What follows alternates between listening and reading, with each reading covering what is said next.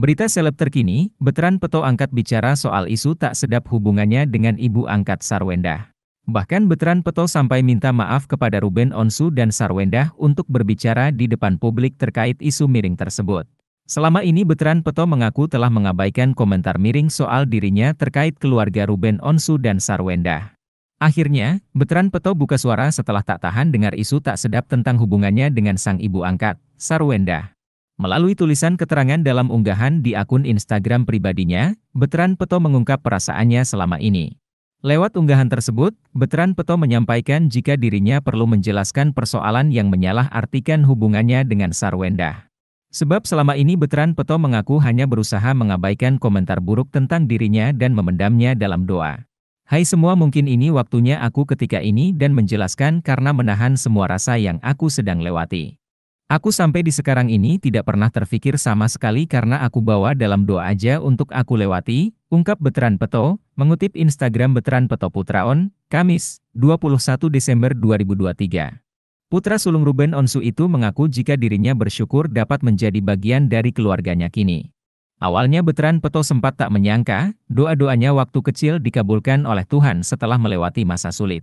Sekarang aku di tengah keluarga Teonsu saja aku masih yakin karena mau Tuhan, yang menjawab doa aku dari kecil ingin punya keluarga yang sayang sama anaknya. Sementara itu hari-hariku ada opa-oma yang selalu menggantikan semua peran itu, dan berbeda dengan anak yang lain aku harus jualan kue dulu untuk bisa pergi ke sekolah, tapi aku jalani tanpa mengeluh, tulis Veteran Peto hingga kemudian dipertemukan dengan keluarga baru yakni Ruben Onsu dan Sarwenda.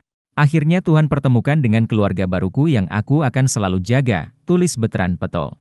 Tetapi dengan beredarnya pemberitaan buruk tentang hubungan dirinya dan Sarwenda, Veteran Peto mengaku merasa bersalah kepada kedua orang tua angkatnya. Lantaran penyanyi yang kerap disapa Onyo ini merasa menjadi penyebab mereka mendapat komentar miring dari warganet.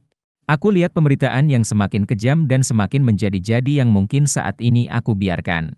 Maaf ya ayah bunda Onyo tulis gini yang pasti aku sayang Teonsu, sebentar aja aku bisa senyum dikit bersama keluarga baruku ya ya kakak, bunda maaf ya gara-gara Onyo jadi sasaran mereka dan bunda tetap minta Onyo sabar tapi kali ini gak apa-apa ya bun Onyo bisa jelasin. Sebab selama ini Betran Peto memahami betul usaha ayah dan bundanya untuk selalu terlihat tegar dan tak pernah mengeluh di depan anak-anaknya. Teruntuk ayah yang gak mau kelihatan capek dan ngeluh kalau di depan kita tapi selalu bilang iya kalau anak-anaknya mau sesuatu, ayah bunda Onyo tahu kalian lelah tapi gak mau kelihatan di depan anak-anaknya.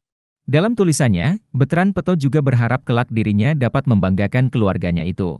Semoga suatu saat nanti kita yang akan jadi anak yang bisa membanggakan. Sebagai penutup, penyanyi kelahiran 2005 ini juga berpesan kepada para penghujat keluarganya agar memahami tulisan dalam unggahannya tersebut. Terima kasih semua, maaf ya kalau ada salah penyampaian tulisan ini. Kakak-kakak yang sering buat informasi kurang baik tentang Onyo dan keluarga semoga kakak pahami ya kak. Tutup Beteran Peto. Download Tribun X sekarang. Menghadirkan lokal menjadi Indonesia.